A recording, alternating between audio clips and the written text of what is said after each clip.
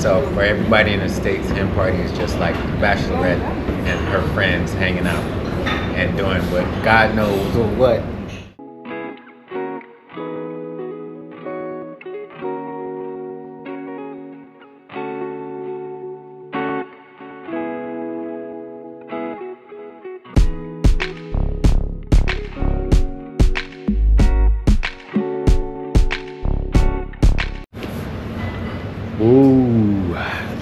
Where are we? We are still in, well, we're in Nairobi, not still. Just got to Nairobi about 45 minutes ago. Yeah, and About um, two hours ago. Two and a half two hours and twenty minutes if we're going to if we're going to be precise.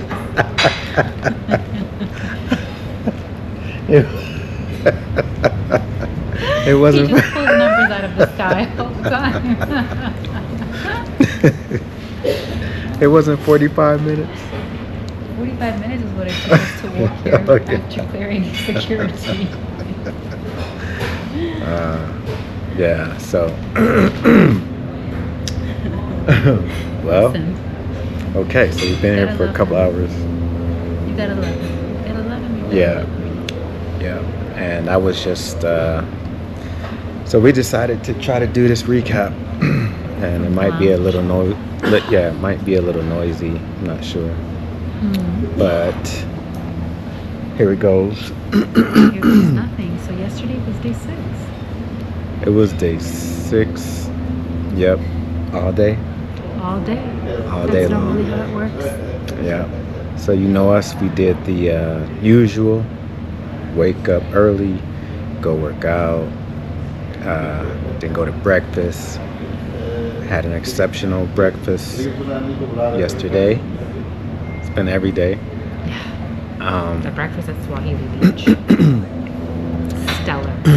yeah, we didn't see any uh, monkeys um, stealing people's breakfast this time or anything.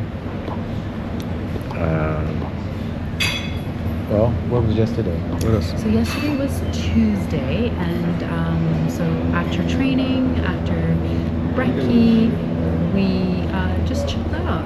We came upstairs. Uh, Jones had some editing to do, and uh, he was working on that until Oh. almost one o'clock, which is when we went for another couples massage. And this time it was a hot stone So on Sunday we had done the deep tissue, um, which Yeah. is wonderful. I got beat up both days, but yeah, Wow, but it was nice though. I asked Jones if he had um, if he had a preference between the hot stone and the deep tissue, and you had said that they were both equally great. You still feel that way? Yeah, yeah. I, I don't know um, which one was better, but the hot stones was like you know, I always wanted to do wanted to do that ever since I've seen it on TV and other videos. So uh, that was quite an experience. Um, yeah, the date kind of it kind of got ahead of us, like because it went kind of fast. It did because it was our last day. It went quickly, but we weren't pressed. We weren't stressed. Nah, yeah, just wanted to chill out and relax. Um, but yeah, that the uh, ladies were nice and lovely. Uh, we'll put an image of them. Um, we uh, gave a nice. Oh yeah, I had to go back to the room, get some money, give them a nice little tip, um, and then. Uh, so after that massage, we decided to, you know, check out the beach again. As soon as we got in the water, we were getting bit by something. But we also stayed a little bit. Um, so what we hadn't done the other days at the spa because we were kind of hurrying um, is we didn't get to enjoy sort of the infinity view, pool view, or just um, cliff view, if you will, of the beach from the spa itself. Uh, so we lounged out there for, for me it was nearly an hour. It turns out that with the services they bring out juice and infused water and the mango juice with everything. I have to tell you it was delicious.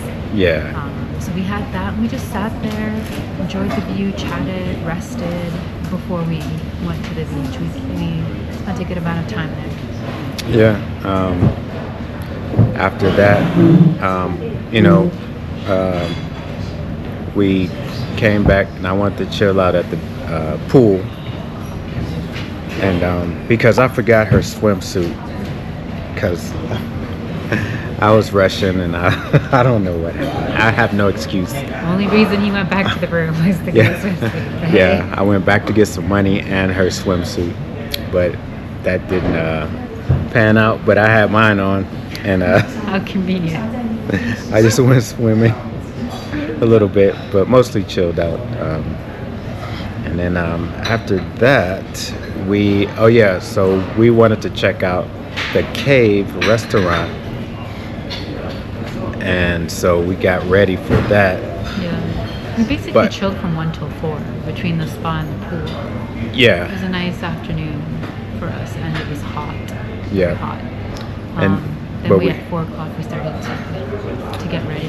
yeah, we got ready, um, and then we we had to go pick up our laundry, which was uh, you know they they closed at uh, they closed at like five, and our appointment at Cave was five thirty, so we couldn't grab it, bring it back, and then go. First, we negotiated a price with the tuk tuk and paid the. I still ended up giving him a little extra. A lot extra. Well, you know no. how we were paying people 500 800 It turns out that the fee is about $50 per person each way, guys. 50 shillings. Excuse me, 50 shillings per person each way. Yeah, the but only reason why we learned We only paid, yeah, I mean, this time I paid 150. It should have, like a local would have been a 50. Uh, yeah, for a local would have been 100. And he was like 150. I'm like, okay. Incidentally, the woman at the laundry spot was the only one that was uh, transparent with us about what the rate was to go up and down the strip. And when we got into the tuk tuk right outside the laundry spot with this new information, we happen to have also gotten into a tuk tuk with a price list, which we had not seen before. How serendipitous! And it was also on the last day. Yeah. But it's fine. We fed some families and we're grateful. We know that there's been a lot of um, suffering due to El Nino, so we helped. We're grateful. All is Yeah. good. All is good. yeah, you know, it is what it is. So, uh, yeah, so we got to, uh, we went to the cave, and that was, Sorry, before you go into the cave, I made that face when he said we went to collect our laundry. Because guys, Yeah. our clothes were not clean.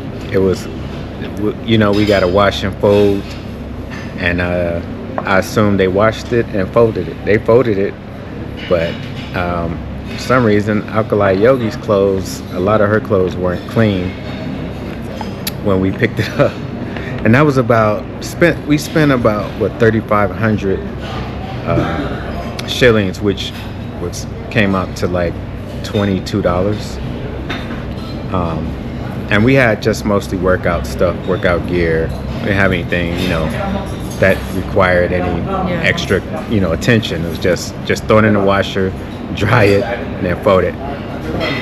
Grab this, grab this bag. Oh yes, go ahead. All right. Um, oh, I thought that was a bowl of food, but that's um, cocoa, cocoa puffs.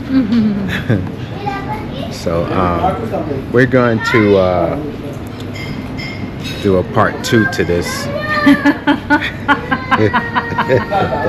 do um, Yeah, we're gonna have to uh, we're gonna have to hit y'all back in a minute. but We'll uh, pick up where we left off, which is uh, the time of the cave. yeah, the time at the cave. All right, y'all. Peace. It seemed like it. Um, well, we'll see though. I got. Okay, we're back, just like that. Nice and quiet now. She's holding the camera while I eat a little bit. He's having some hummus and veggies. Yum yum. And good. And good. He's so habesha now. All right, so we left off. Hopefully that's not too noisy. It's a coffee machine. We can speak louder. We left off at, um, we had gotten to the cave with our laundry on hand. Not that it had been cleaned, I digress. To the Um, tuk tuk. took a tuk tuk. We negotiated the 150 and we saw the prices, so we knew that we were in the correct ballpark, as well as the woman from the laundry shop. Again, she brought us into the loop, we'll say. Um, once we got to the cave, we were probably the first ones, right? We were the first ones to arrive. They have two seatings, 5:30 till 8:30, and then 8:30 till 9:30. So we arrived right at 5:30. Well, a little bit earlier, to be honest. Um, I think it was like 5:20 by the time we got there. They sat us down straight away, um, and then I proceeded to take a bit of the view because I wanted to catch the daylight. Oh. So they sat us down. when we when we pulled up outside, I was like, "Oh, this is closed down." Like I don't. I was just like, "Where is it?" It's really unassuming. Underground. Yeah, That's where it is. Like, it's, it's not a big like storefront, like a big sign or a big. You know, it's not a structure you can see from the outside. It's just a modest looking building. So By the way, locally, if you're looking for it, ask for Alibaba's. That's, Yeah, that's what the locals refer to it as. Um, but yeah, so we got there, we were sat.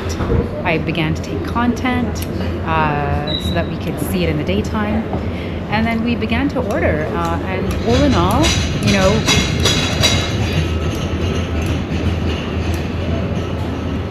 uh, all in all, you were with with us for most of the meal. You saw that we enjoyed the food. It wasn't bad. It also wasn't outstanding or anything like that. But um, we had a really nice night. Um, the ambiance and the experience. yeah, just to say you've been there and just to have that experience like dining in a cave yeah. It's kind of once in a lifetime, right? So we did it. We're grateful. We really enjoyed it. Hopefully, you enjoyed the content. Uh, hopefully, you'll go as well. Uh, support the locals, you know. Um, and then from there, again, we were uh, we were uh, courteously no, we were graciously taken back to our place to Swahili Beach, where Oh. we were staying. uh, courtesy Courtesy. van Yeah, apparently it's not just Casamia. This is I think this is a thing for like the higher end restaurants, at Yeah. least at least for the higher end restaurants.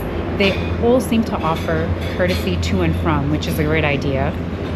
Uh, to and from your resort, because this this helps to entice people to leave the resort because it's very easy when you're staying at a, a resort which had the option of being all inclusive. Jones and I didn't go for that option because we wanted to venture out and try things outside of the resort, but because it was available, uh, it's very hard to get people to leave, right? Because you could do everything there. You can do boat rides and and water excursions. You've got a gym at the resort, a got spa, like five different restaurants, restaurants. Yeah, so there's they make it challenging for people to be incentivized to leave, but but I think having these courtesy courtesy shuttles for Yeah. people who are maybe new travelers that don't feel comfortable, uh, I think this is a safe a safe way to get people out. yeah plus the resort is right across the street from a carrefour carrefour carre Mm-hmm. Ours was yes, I Swahili don't know how Beach. you pronounce that Car- Carrefour. carrefour Yeah, Carrefour. um, grocery store ladies and market gentlemen. This is our final boarding call for every remaining passenger on the Emirates flight EK720 to Dubai. Please proceed to gate number 7. A final boarding call for any remaining passenger on the Emirates flight EK720 to Dubai. Please proceed to gate number 7. That's your flight. You better get going. Time's a ticking. okay But Time um, yeah. So you were saying about the Um, shuttle? Oh, the Carrefour, carrefour you have a um a, uh, what's that restaurant Java House. Java House, Carrefour, and there's we found that out later. We'll tell you on day seven, but we found out that was really close to us. It could have saved us a lot of time. What? Instead of walking all the way down with the laundry, you could have walked the other way past the carport. Was there one right there? Tops and turf, yeah. No, that was further down though. Was What that, about think that equal was fun? distance? I think it was equal distance. Okay, so Yeah. we could have got a different experience than being on the beach, but Who knows? Who knows? Um, but that So was yeah, yeah. I mean, with that store and restaurant right there, that should entice you to go out. At least get coffee, tea, uh, some good food, um, whatever you need for the room. You know, they got uh, a minute. What you call it? amenities. Yeah. Yeah, stuff you need like some toothpaste or Toiletries. toiletries. If you want to see what's in a uh, Kenyan, well, it's not really a Kenyan grocery store. It's a grocery store. If you want to see what's in a local grocery store, that Mhm. how the local shop. Mhm. Not that you looking at them shop. Mhm. Yeah. So. Uh, So that was pretty much it. We took our shuttle back to Swahili House. We got back about 8.30, but we to be fair, we'd spent 8.30 minutes of that just waiting for the courtesy shuttle coming back, which to me wasn't really worth the wait. I would have honestly rather paid Yeah. a thousand shillings if I knew, if I'd known there was going to be a 30 minute wait. yeah, because at first we were just gonna order appetizers, but then we ended up getting entrees, and I didn't even. I took two bites of my entree and just saved it for the day. Yeah, that's what we both did. So, um, I got full off the bread. True, true. Um, yeah, I, I kind of had because you know we bring our food with us, right? And if it's not from home, then we'll bring it from a restaurant, so we that we're, we aren't we're not having to eat like what's served on the aircraft unless we want to. But we like to have options, um, and our airplane food is never our first option. No but. Uh, uh, but we understand that there's a time and a place. Um, but so yeah, because we ended up getting a full meal, a couple of three starters actually, two mains and a dessert. We, neither one of us really ate our mains. We got we were satisfied from just these starters, so it was great because we were able to pack up our mains, and they're going to be our food for tonight if we're hungry. We didn't we didn't um, take into account that we'd be at the lounge, and so I don't know if anybody either one of us will be hungry tonight when we get to Kigali. By the way, we land at 6 p.m. local time in Kigali. By the way, it only takes 30 minutes. Yeah, it's a 30 minute flight, guys. From Nairobi, from Nairobi to Kigali is just 13 minutes. So you literally go up and down. So, um, but should we get hungry? We didn't want to have to look for things at 6 p.m. at night. well, by the time we get to the hotel, it could be 8. Or we, we didn't have, we, would, we didn't want to have to search for things and maybe make a poor option or even eat that late. So we have our our contingency plan was to have these entrees as our dinner for tonight if we needed it. yeah. So we ain't got to go out and do nothing. Yeah. The Only thing we need to do is make sure we get local currency when we land. Yeah, and water.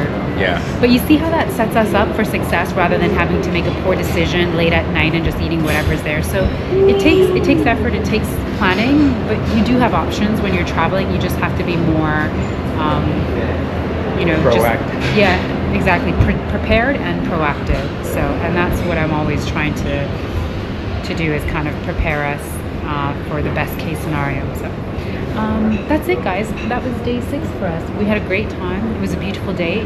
Again, we recommend it. Go one time is all you need. Yeah, yeah. You got to You got to experience it. It's uh, it's a nice place. The service is good. The staff is friendly, are friendly. Um, I think there was a hen party. We don't say that in in in, in America. We don't say hen parties, but I, it was like uh, it was some ladies all together, and I assume maybe they're on like a bachelorette getaway or something like that. So for everybody in the states, hen party is just like the bachelorette and her friends hanging out and doing what God knows or what. So yeah, so that was my observation on that. But yeah, that was it. Really chill night. I went to get home. I went Yeah. to get to the hotel. I was falling asleep waiting for the waiting for this the shuttle. It was hot. Yeah, eight o'clock at night. It was, scorching hot. I like it. So yeah, that was it.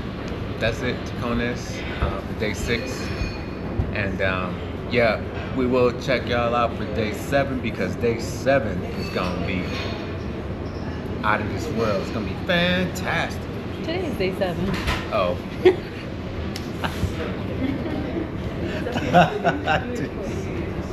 okay. We're tired. We're gonna go now. Yeah, I'm throwing out arbitrary numbers and days and names and hours out. You Okay. already know. Yeah, You we'll see y'all tomorrow. Bye.